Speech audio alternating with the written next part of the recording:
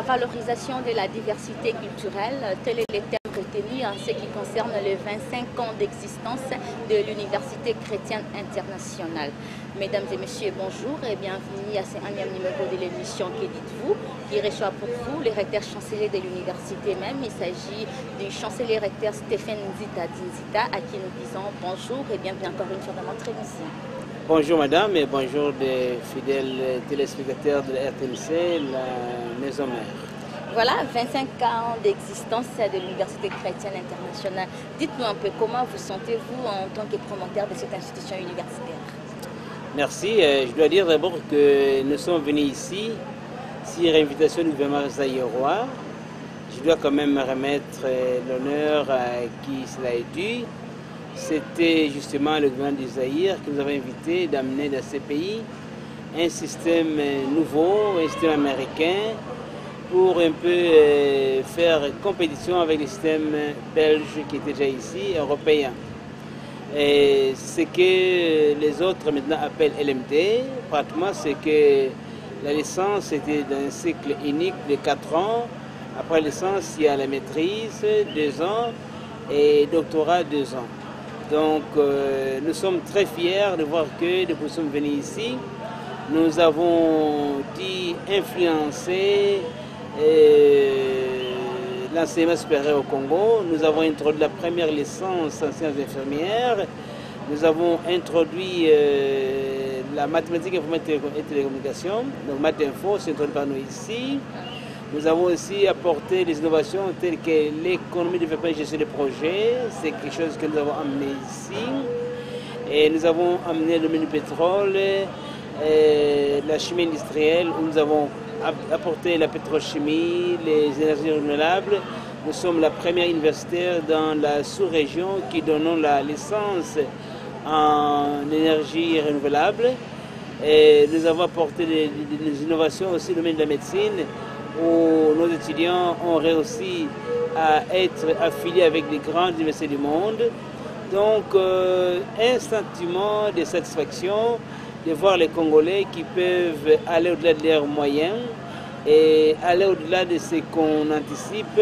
Malgré les circonstances difficiles, les Congolais ont une résilience incroyable. Donc, je suis très fier de voir qu'il y a une jeunesse au Congo qui n'est pas le futur de demain, mais pratiquement qui est euh, le faiseur des rois d'aujourd'hui. Voilà, euh, dites-nous un peu, M. Stéphane Dida, dans quelles circonstances avez-vous créé cette institution universitaire? Voilà. Bon, nous l'avons créée, vous savez, comme j'ai dit, sur remerciement du gouvernement congolais, roi de l'époque les Zaïres traversaient un problème, un moment très difficile avec les universités. Vous savez que Mobutu avait arrangé le système à tel enseigne qu'il a supporté l'enseignement supérieur et universitaire en laissant l'enseignement primaire et secondaire aux conventions signées avec les églises protestantes, aux kimbangis, aux catholiques. Mais vers les années 90, le gouvernement avait des problèmes, d'abord pour payer les bourses d'études à tous les étudiants qu'on avait à l'université. les fardeaux étaient très lourds pour le gouvernement. Et puis on voulait que, bien qu'on ait déjà installé le système de G3, qui, était, qui est une invention d'ailleurs, qui permettait que les étudiants qui avaient fait d'abord G3 pouvaient travailler deux ans pour rembourser un peu de manière ou d'une autre, ce qu'ils ont obtenu de l'État congolais, et faire la première demi-licence. Mais il y avait aussi beaucoup de Congolais qui étaient éparpillés partout parce qu'il y avait l'INASA qui avait un des universités. Donc euh, le gouvernement a pensé qu'il fallait quand même amener une nouvelle donne qui serait l'enseignement américain où vous avez beaucoup d'universités qui font la compétition mais dans un espace universitaire qui se, qui retrouve. Donc euh, nous disons que euh, c'était la clairvoyance des dirigeants congolais, zaïrois de l'époque, et qui a été aussi soutenu par euh, le gouvernement successif de la, la, République, qui nous donne 25 ans d'existence, eh bien, euh, c'est créé, comme je disais, par rapport aux besoins réels de la nation, qui voulait qu'on puisse voir une nouvelle donne, un nouveau son de cloche dans l'enseignement supérieur et former des nouveaux cadres quand même avec une nouvelle optique. Voilà, euh, beaucoup de téléspectateurs qui nous suivent aimeraient savoir pourquoi cette dénomination, université chrétienne. Est-ce que c'est plus que cette université appartient à une confession religieuse ou soit il y a que des chrétiens qui peuvent étudier ici? Il n'y a pas accès pour les bouddhistes, les musulmans et autres? Bon, quand, quant à la discrimination, il n'y en a pas parce que les chrétiens, d'abord par définition, c'est un pécheur pardonné. Donc nous pensons que tout homme qui vient ici et vient au pas égal que les autres. Donc euh, nous acceptons d'autres personnes, mais nous voulons qu'ils comprennent que nous sommes une université chrétienne d'abord. Nous croyons à la foi judéo-chrétienne euh, qui nous donne des convictions que Christ est le maître de tout ici et nous faisons tout pour la gloire de Dieu, et la Dieu gloria, et nous faisons tout pour l'honneur du Seigneur. Mais il faut dire aussi que les gens qui ont créé l'université ici étaient là où moi j'ai étudié aussi, en ont créé pour le Japon, vous allez voir la même dénomination au Japon, International Christian University. Eh c'est créé dans les mêmes conditions, par les mêmes personnes, avec les mêmes ambitions, seulement que nous sommes indépendants et ici nous sommes en train de, de faire ce qu'on doit faire au Congo par rapport aux problèmes du Congo, avec les problèmes avec les Congolais. Et au Japon, ils font avec ce qu'on fait au Japon, avec les problèmes du Japon, avec les peuples japonais. Donc euh, nous sommes quand même, euh, il faut le dire, nous avons des partenaires euh, étrangers, américains, et nous sommes dans, un consortium des universités chrétiennes. Et récemment, nous avons aussi une nouvelle université qui est créée en Ukraine, l'université chrétienne nationale également. Donc euh, nous sommes un réseau des universités chrétiennes et d'ailleurs nous sommes en train d'élargir l'association des universités chrétiennes en RDC, que maintenant nous, nous sommes en train d'accepter les membres qui peuvent nous rejoindre, parce que non pas seulement que nous, nous sommes partis de ces réseaux, mais nous voulons que les universités chrétiennes du Congo, de la RDC, soient dans un réseau où nous allons défendre nos valeurs, parce que vous savez, l'université n'est pas neutre. Il y a des gens qui ont une philosophie athéiste, il y a ceux qui ont une philosophie euh, laïque. Nous, nous avons une philosophie chrétienne. Nous croyons que Dieu est le maître de tout et Dieu est au centre du savoir et Dieu est la raison pour laquelle nous sommes ici. Donc nous pensons, nous autres, que euh, nous sommes venus ici pour servir Dieu et être à l'université en tant que professeur ou étudiant, c'est d'abord être au service du Seigneur et accomplir sa mission. Voilà, 25 ans d'existence de l'Université chrétienne internationale sur le sol congolais. Euh, quel bilan pouvez-vous établir à ce sujet? Le bilan, je pense qu'il est éloquent. Euh, dans la semaine universitaire, si vous formez un seul médecin en Amérique, ça vous coûte 800 000 dollars pour former un médecin. Alors si nous venons ici et que nous formons 3 médecins, 10 médecins par rapport à la valeur les retours sur investissement, c'est beaucoup. Eh ben, un médecin américain qui va à l'université va payer un minimum de 800 000 dollars. Alors, quand nous venons au Congo, nous formons les gens ici. Vous voyez qu'en Amérique, par exemple, eh, une faculté de médecine comme de Harvard, dont le budget est plus, est plus, est plus grand que le budget du Congo, ne prendra jamais plus de 30 étudiants de la première année. Alors, euh, nous avons voulu aussi faire la crème de la crème. Donc, en médecine, chez nous, il n'y a pas une pléthorie d'étudiants. Il y a un groupe d'étudiants soigneusement choisi, trié, et qui vont défendre la, nation. Alors, nous pensons que c'est une réussite euh, phénoménale dans le domaine de, la médecine, et en sciences infirmières également, et en économie, euh, développement de projets ceux qui sont avec la Banque mondiale, ou les compagnies, nous disent que les résultats sont bons et quels sont les problèmes réels, ceux qui sont avec les ONG, c'est bon. Donc nous avons aujourd'hui, nos, fruits sont dans tous les continents sauf l'Antarctique et en train de défendre les valeurs qu'on a pris ici. Donc nous pensons que c'était une réussite. Et certainement, s'il y a quelque chose qui est plus important, c'est que je suis arrivé à comprendre les Congolais, c'est réellement un autre peuple qui a une résilience incroyable. Les parents congolais investissent tout pour leurs enfants, pour les études. Donc la communauté nous a acceptés de manière euh, vraiment euh, étonnante. Et les églises qui viennent avec nous, c'est pourquoi nous avons maintenant retourné sincère que maintenant nous donnons à chaque église du Congo qui nous écoute que nous recevons au moins deux filles par église qui peuvent étudier chez nous gratuitement. Pourquoi? Parce que nous pensons que euh, si la femme congolaise est éduquée, nous allons un peu pallier l'injustice euh, qui était faite à la femme, que c'est l'homme qui a eu la chance de tout. Mais maintenant, nous voulons quand même faire une certaine discrimination positive où nous donnons des bourses d'études aux filles et des églises. On a fait des ONG, mais nous sommes aux églises que les églises, qu'elles soient catholiques, qu'elles soient protestantes, qu'elles soient kimbanguistes, qu'elles soient des réveils, qu'elles soient la confession islamique, deux filles par euh, confession religieuse, nous allons éduquer gratuitement ici chez nous parce que nous pensons que nous étions surpris de voir la contribution des filles. Vous savez que depuis qu'on est là, euh, pendant 25 ans, eh bien, à part égale, les lauréates étaient des filles comme des garçons. Donc nous avons des filles très compétentes au Congo qui ont seulement besoin qu'on puisse euh, les aider à réaliser leur potentialité. Voilà, M. Stéphane Dita, dites-nous en quoi l'Université chrétienne internationale est-elle différente d'autres universités et aussi instituts supérieurs de la République démocratique du Congo pour ne pas parler du système LMD vous avez déjà instauré, puisque D'abord, la, d'abord la moralité. La moralité. Oui. Et chez nous ici, euh, quand vous venez ici, vous allez voir que les étudiants se mettent au travail à tout moment. Et chaque étudiant, après chaque cours, il va faire un journal réflectif, c'est-à-dire qu'il va résumer les cours, ce qu'il a donné, et remettre ça au bureau, et signe. Et à la fin de chaque module, l'étudiant fait un travail récapitulatif de lui-même, qu'on appelle le travail de fin de module.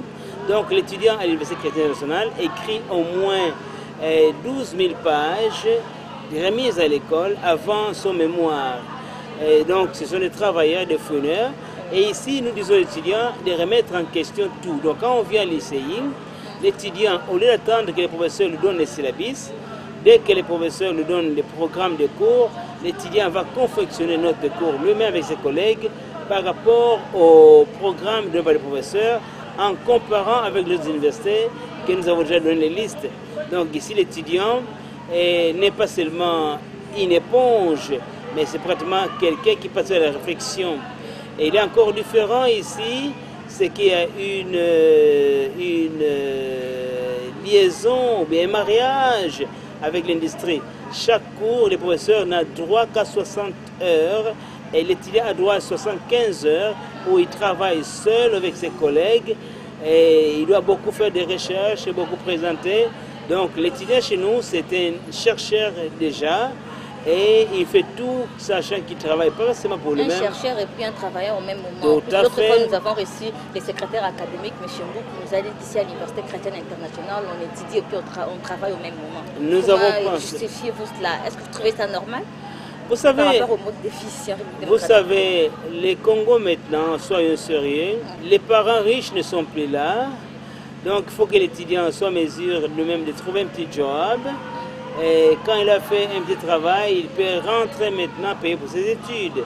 Donc nous, nous encourageons que tous les matins, étudiants soient soit dans les recherches ou dans le travail ou ailleurs.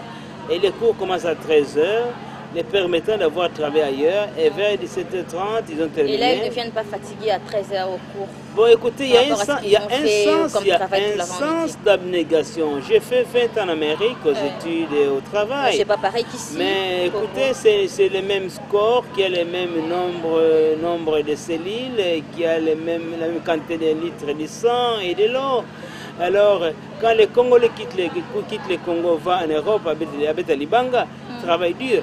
Et j'ai trouvé qu'ici, les étudiants viennent déterminer, parce que maintenant, ils connaissent que je suis au volant de ma propre vie, j'ai avec moi mon destin, et j'ai fait des sacrifices, je vais à l'abnégation pour que je devienne quelqu'un dans la vie. À titre de rappel, Monsieur Stéphane Dita, puisqu'on en a déjà parlé, est-ce que vous pouvez euh, rappeler à nos téléspectateurs le programme de cours dispensé ici à l'Université chrétienne internationale et ainsi que de la qualité du corps professoral? Ben, nous allons commencer par la catégorie professorale. Ouais. Nous, sommes, nous sommes une université à vocation internationale, donc nous avons des relations avec des universités de très haut niveau. Nous avons des professeurs qui viennent de New York University, qui viennent enseigner ici. Nous avons des professeurs qui viennent de Harvard, qui viennent enseigner ici. et qui viennent de Penn State d'ailleurs. Donc nous avons vraiment voulu avoir euh, un réseau qui permettra que nos étudiants ont aussi la chance de voir d'autres professeurs de grandes universités. En deuxième lieu, nous avons nos professeurs, notre faculté de médecine, où la partie clinique est donnée et dispensée totalement par euh, nos professeurs euh, partenaires indiens qui sont avec nous en réseau. On a déjà installé la télémédecine. donc nous avons ce programme-là. Et nous avons aussi euh, les recherches que nous faisons avec les autres universités conjointement. Et nous recevons des livres des universités euh, pour qu'on travaille ensemble.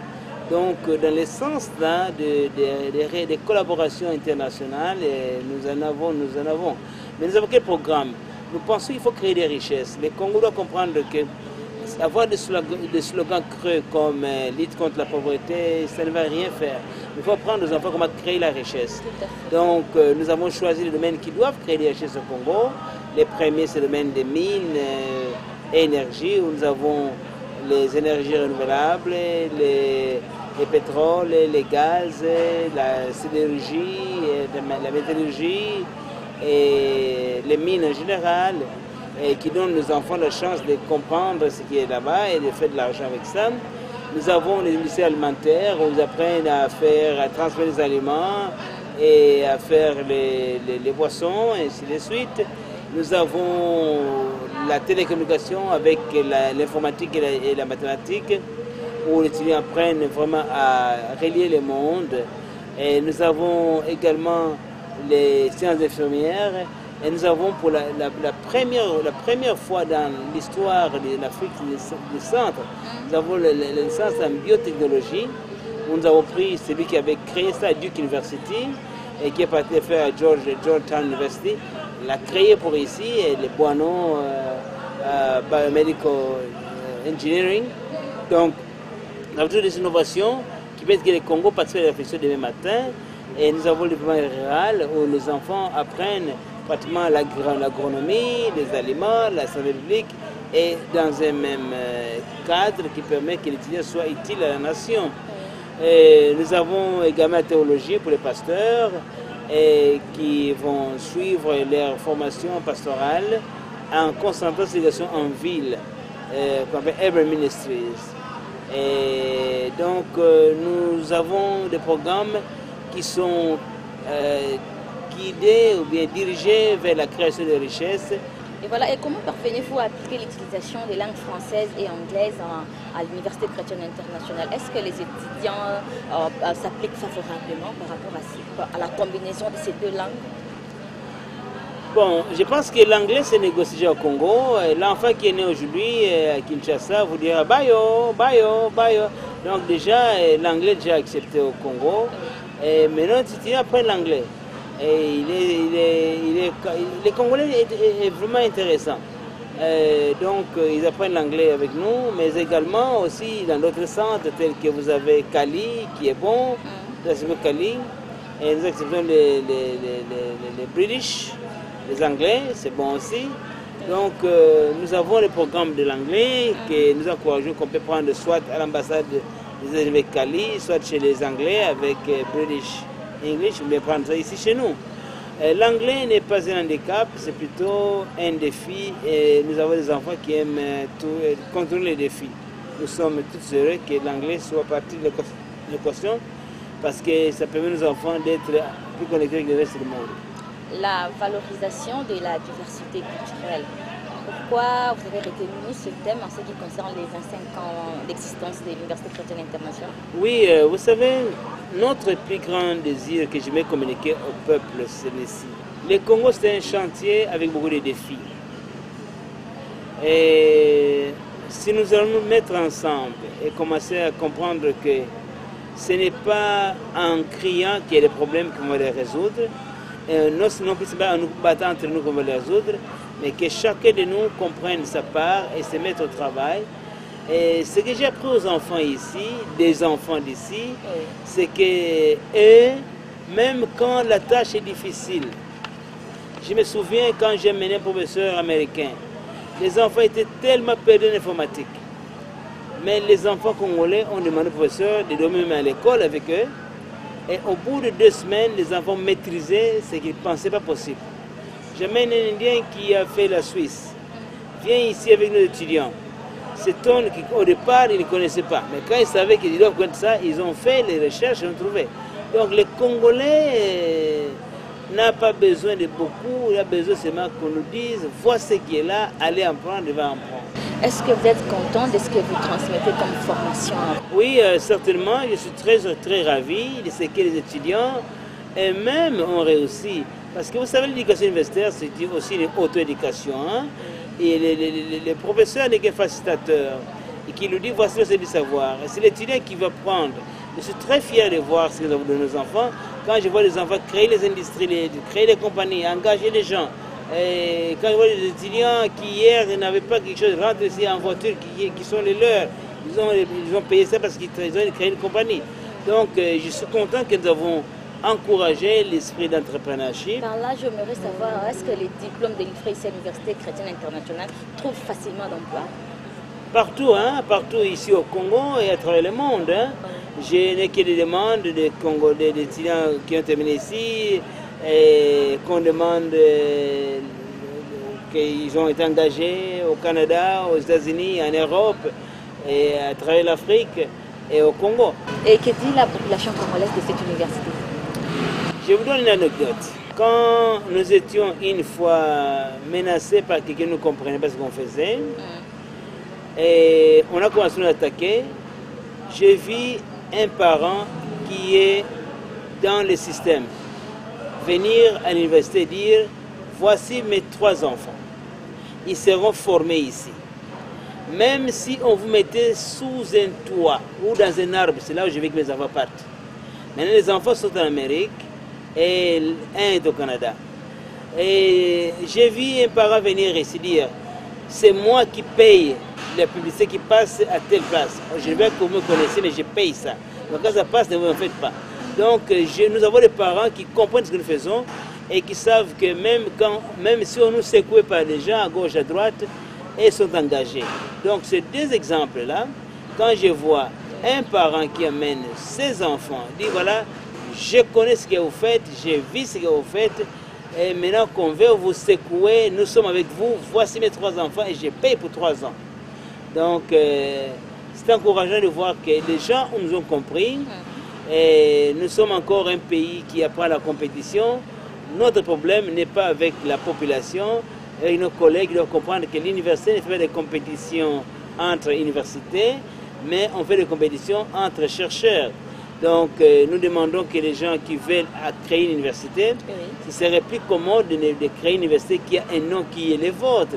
Mais créer des choses comme les, les, les musiciens, c'est pas très bon quand nous avons une université chrétienne internationale à Kinshasa, eh bien, si vous voulez créer une université, trouver un nom pour votre université, c'est bien intéressant que de créer quelque chose qui prête confusion. Mais la population nous a accepté à 100% et nous en sommes fiers. Voilà, euh, euh, une dernière question, peut-être celle qui concerne ce 25e anniversaire, euh, ce qui coïncide avec la rentrée du troisième module des finalistes. Dites-nous un peu, qu'est-ce que cela veut dire? Bon, vous savez que quand vous allez à l'université de Kinshasa, c'était prévu d'avoir deux semestres. Et on devait prendre tout au plus 16 cours.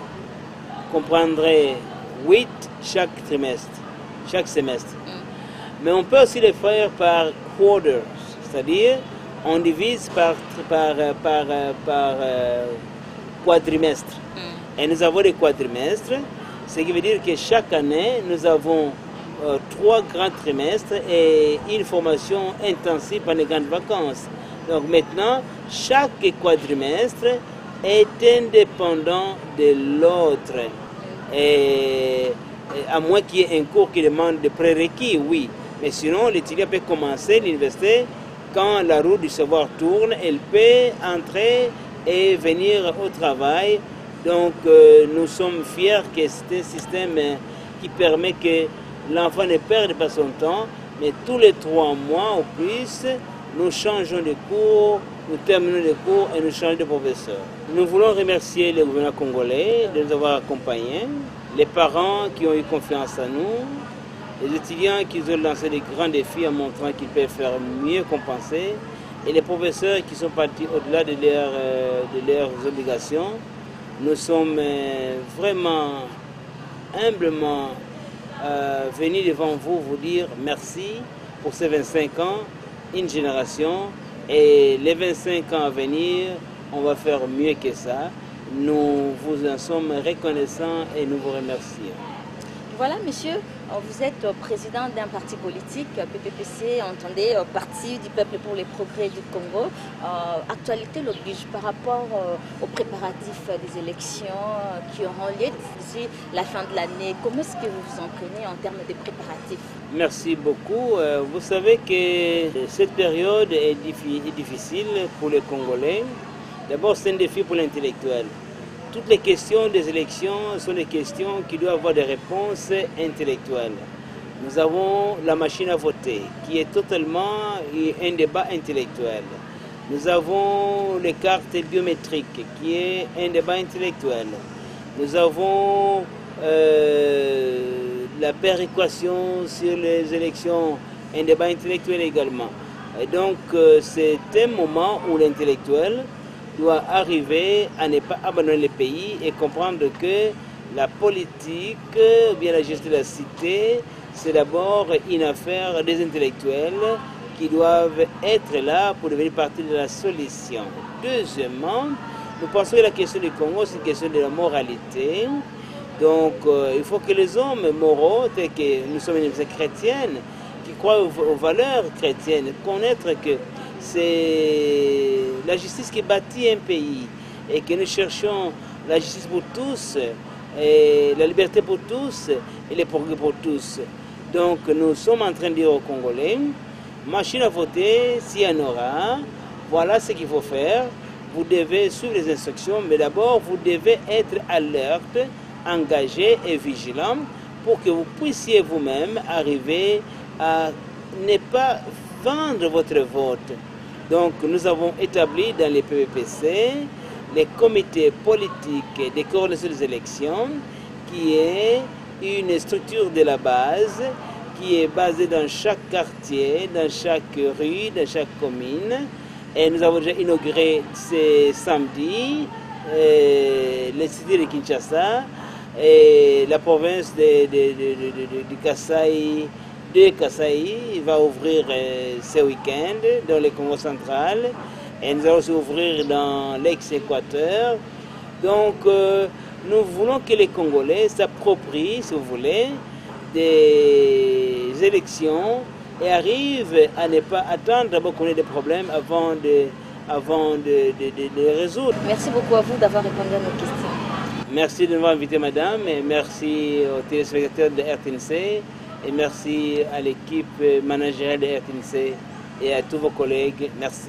Eh bien voilà, fidèles téléspectateurs, nous voici arrivés à la fin de notre émission. À titre de rappel, nous recevions M. Stéphane Zita, chancelier recteur de l'Université chrétienne internationale. Et avec lui, nous avons parlé euh, de 25 ans d'existence de cette institution universitaire sur les sols congolais.